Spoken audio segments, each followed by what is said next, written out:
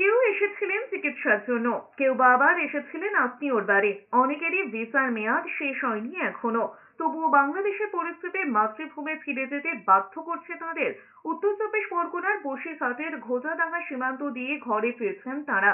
গিয়ে কি অবস্থায় পড়বেন জানা নেই। তবুও সেখানেই যে ঘরবাড়ি সন্তান স্বজনরা ছড়িয়ে ছিটিয়ে রয়েছেন, তাই ফিরতে তো হবে এবারে পুজো দিতে এসেছিলেন সুন্দরী সরকার। বিবাহিত তিন মেয়ে থাকেন আশেপাশে।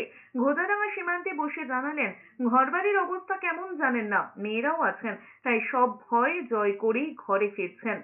তার পাশে বসা অরবিন্দ সরকার জানিয়েছেন, খবর পেয়েছেন ঘরবাড়িতে আগুন লাগানো হয়েছে, তাই এবারই বসে থাকার আর সাহস হচ্ছে না।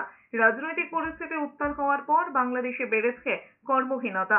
খারাপ হয়েছে অর্থনৈতিক পরিস্থিতি, জিনিসপত্র, অগ্নিমূল্য, তাই ঘরে ফিরছেন এক রাশ চিন্তা নিয়ে।